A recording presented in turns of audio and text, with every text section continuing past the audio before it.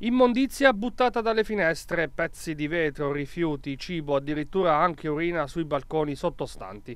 Torna a denunciare il degrado di via Rigopiano a Pescara il vicepresidente del Consiglio regionale Domenico Pettinari, sceso ancora una volta al fianco dei cittadini che, esasperati dalla situazione che si è venuta a creare, devono continuamente subire minacce e in alcune circostanze anche aggressioni. Situazione pericolosissima anche per l'insalubrità dei, dei luoghi. A questo si aggiunge naturalmente alcuni occupanti abusivi che permangono, spaccio di droga diffuso imponente, ci sono persone che io non posso capirlo, persone ricche le persone ricche, famiglie ricche non possono stare in case popolari perché utilizzano le case popolari solo per attività illecite. Abbiamo persone che vediamo con macchinoni da 70-80 mila euro a fronte di cittadini che hanno necessità e bisogno di una casa popolare, veramente i poveri, veramente, i poveri che non hanno la casa popolare. Quindi i ricchi devono andare fuori, si deve fare un'indagine e vedere il tenore di vita delle persone. Non possiamo consentire alle persone ricche di stare all'interno delle case popolari, che tra l'altro non ne hanno bisogno e le utilizzano solo per delinquere. Abbiamo ancora furti, all'acqua allacci abusivi, corrente elettrica, acqua, addirittura il collegamento diretto, il bypass sull'acqua,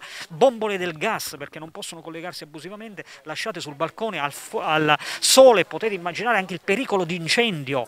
A tutto ciò si aggiungono 20 appartamenti, li potete vedere murati, non assegnati, pronti per essere occupati abusivamente. Appartamenti murati vanno assegnati ai cittadini che ne hanno diritto, quindi qui è tutta una situazione vergognosamente. Ci sono ancora soggetti pericolosi che hanno puntato coltelli alla gola di questi cittadini che sono, sono, stati aggrediti con coltelli puntati alla gola da alcuni soggetti, ho chiesto l'allontanamento di questi soggetti, sono ancora qui. Ecco, in tutto questo dramma io chiedo un appello forte al Presidente di Regione, perché sono case della Regione Abruzzo, al Sindaco di Pescara, di ristabilire subito, verifica dei requisiti, ristabilire la, la legalità in questi posti, fare un'operazione di bonifica, di pulizia, togliere gli abusivi, assegnare le case non assegnate alle persone che ne hanno diritto, perché mettendo cittadini onesti sicuramente si potrà risolvere e risollevare il tessuto sociale di questo posto.